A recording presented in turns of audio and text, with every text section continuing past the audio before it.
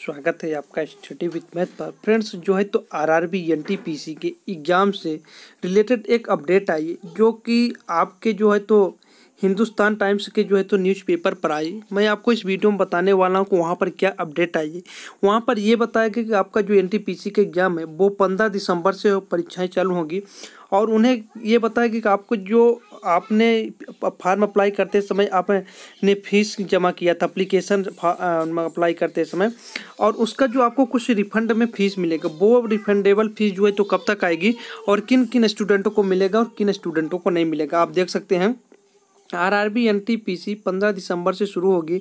परीक्षा, जो उम्मीदवार R R B N T P C परीक्षा में शामिल होते हैं, उन्हें आवेदन फार्म भरने के दौरान सबमिट की गई फ़ीस रिफंड कर दी जाएगी। यहाँ पर ये चीज़ आपको बताई गई थी। इसको मैं आपको देखकर बताता हूँ क्या क्या इन्फॉर्मेशन आई है। आरआरबी एनटीपीसी परीक्षा 15 दिसंबर से शुरू होगी। परीक्षा के लिए दो करोड़ के करीब उम्मीदवारों ने रजिस्ट्रेशन किया है। रेलवे भर्ती बोर्ड आरआरबी ने कहा, हाल ही में उम्मीदवारों के लिए उनके एप्लीकेशन स्टेटस की जानकारी जारी की है। बता दें कि उम्मीदवारों के आवेदन फॉर्म स्वीकार कर लिए गए हैं। वहीं परीक्षा के लिए उपस्थित होंगे। आरआरबी जल्द ही परीक्षा का पूरा शेड्यूल जारी करेगा। यह उम्मीद उम्मीद की जा रही कि परीक्षा कई दिनों तक आयोजित की जाएगी और परीक्षा में एक से अधिक शिफ्ट होंगी।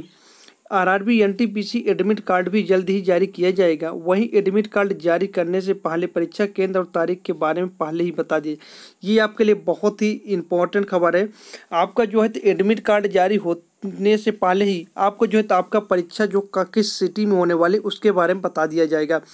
एडमिट कार्ड संबंधी आरआरबी की आधिकारिक वेबसाइट पर जारी किए जाएँगे। उम्मीदवार को एडमिट कार्ड डाउनलोड करने के लिए रजिस्ट्रेशन नंबर और डेट ऑफ़ बर्थ के लिए आपको वहाँ पर ज़रूरत होगी। बताया गया कि आप एनटीपीसी के लिए आप जो है तो रजिस्ट्रेशन नंबर और आप डेट ऑफ़ बर्थ है तो आप वहाँ पर प्राप्त कर सकते हैं। जो उम्मीदवार एनटीपीसी में शामिल होते हैं, उन्हें आवेदन फॉर्म भरने के दौरान सबमिट की गई फ़ीस रिफंड कर दी जाएगी।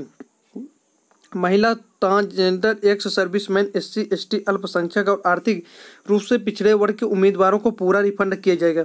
ये जो है, ये जो कुछ कैटेगरी यहाँ पर नाम दी गई उनका जो है फ़ीस पूरी रिफंड कर दी जाएगी बाकी जो स्टूडेंट हैं, जो पाँच सौ फ़ीस जमा किए थे, उन्हें चार सौ रुपये जो है तो रिफंड की जाएगी।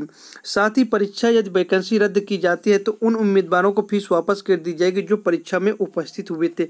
यहाँ पर यह बताया गया कि है, यदि जो उम्मीदवार परीक्षा में उपस्थित होते हैं, उन्हीं के जो यदि परीक्षा रद्द होती है तो उनके जो पूरी फ़ीस है, पाँच सौ रुपये वो रिफंड कर दी जाएगी और जो अनुपस्थित रहते हैं, उन्हें नहीं की जाएगी। यहाँ पर फ्रेंड्स आगे बताया गया है कि आपकी परीक्षा का आयोजन कोरोना वायरस संकट के बीच पंद्रह दिसंबर से निर्धारित कंप्यूटर आधारित टेस्ट यहाँ पर जो है तो कंप्यूटर आधारित टू, यहाँ पर जो इम्पोर्टेंट आपकी चीज़ें थी फ्रेंड्स मैं बता दिया इंपॉर्टेंट चीज़ें केवल यही थी। आपका जो एनटीपीसी का एग्ज़ाम है वो पंद्रह दिसंबर से स्टार्ट होगा। उसके अलावा आपका जो है तो रिफंडेबल जो फ़ीस है, जो स्टूडेंट यदि अप्लीकेशन करते समय अप्लाई किए थे, जिनका पाँच सौ रुपये जमा किए थे, उन्हें चार सौ रुपये रिफंड किया जाएगा और महिला, अल्पसंख्यक एस टी एस सी इन्हें जो है तो उनका पूरा फ़ीस रिफंड किया जाएगा। फ्रेंड्स इसी तरह से लेटेस्ट अपडेट के साथ आप बिल्कुल स्टडी विथ मैथ चैनल के साथ बिल्कुल बने रहिए। मैं आपको मिलता हूँ नेक्स्ट अपडेट के साथ स्टडी विथ मैथ पर